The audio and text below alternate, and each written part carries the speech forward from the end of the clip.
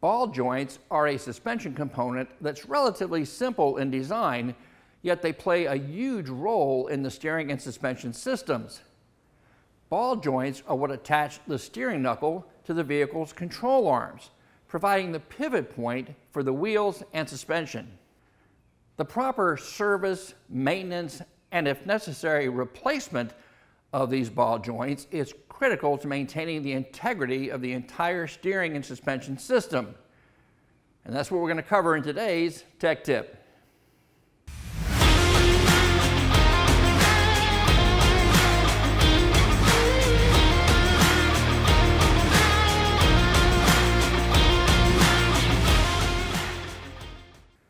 The automotive ball joint, also known as a ball and socket joint, resembles the human joint at the hip, both in design and function.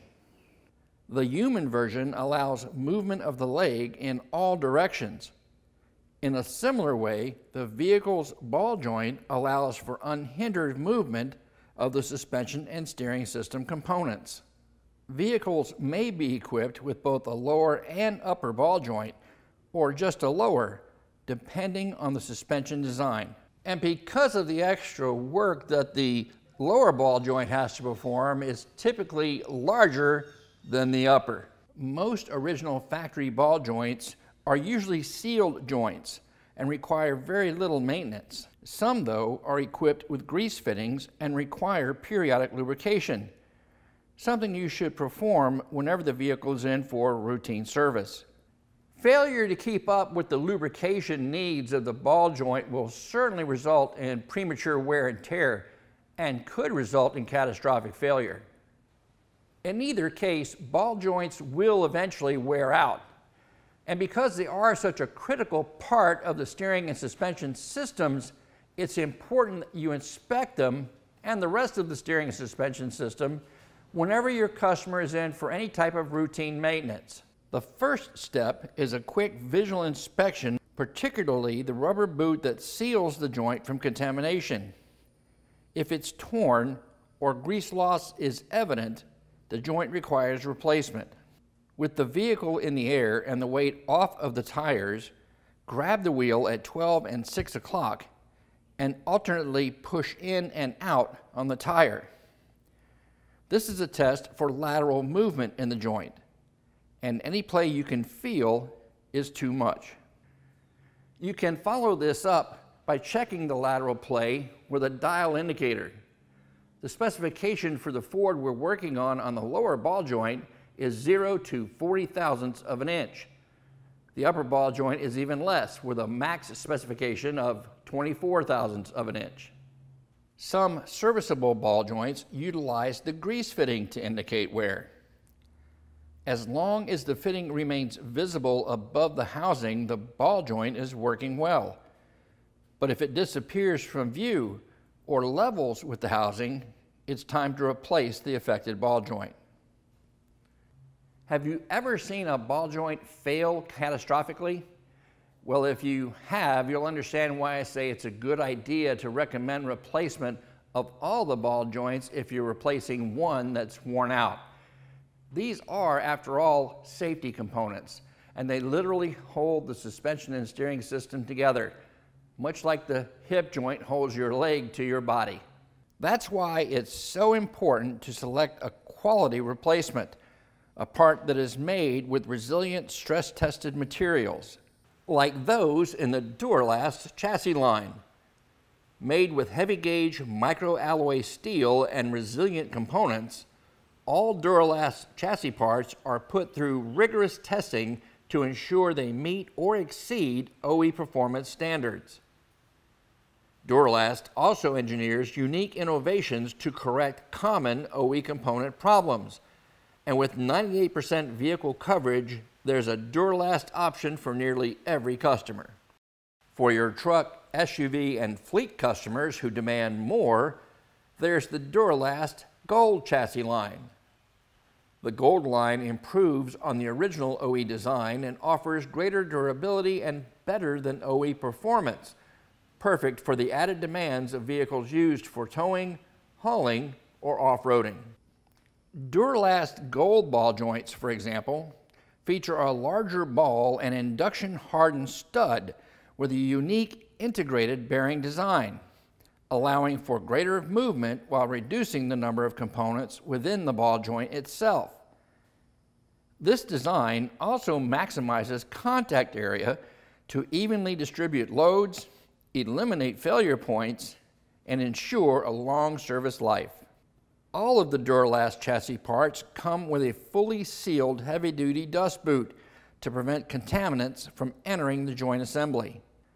As you may know, some vehicle models may require special installation steps and select Duralast Gold chassis parts will include an orange tag in the parts box that shares these installation steps and tips.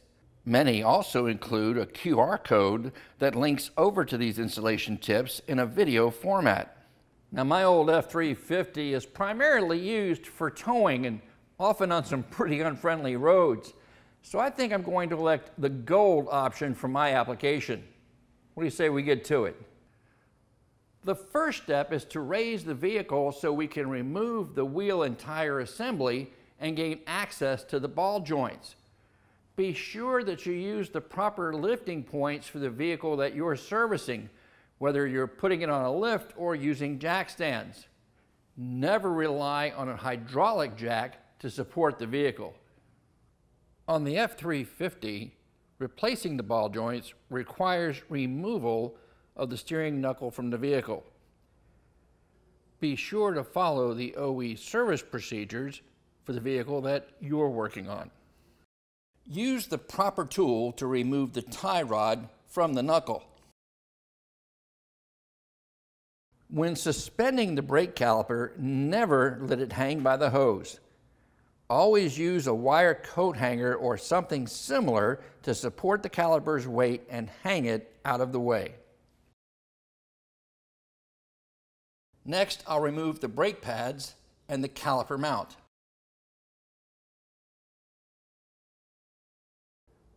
Next, we'll remove the disc brake rotor. Then the brake dust shield and the ABS wheel speed sensor. With the knuckle stripped bare, remove the upper pinch bolt and then the camber adjuster, noting how the adjuster is oriented. Mark it if need be, so that you can put it back in the same way you took it out. Remove the cotter pin from the castellated nut. Loosen, but do not remove the lower ball joint nut.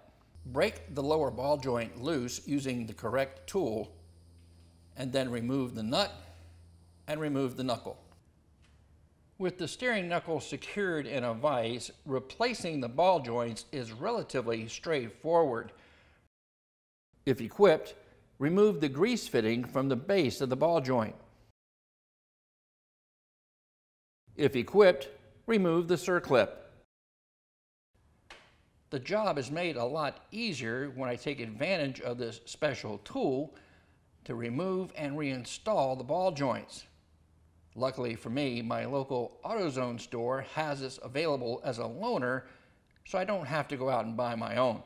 Using the special tool press the lower ball joint out of the knuckle, followed by the top joint.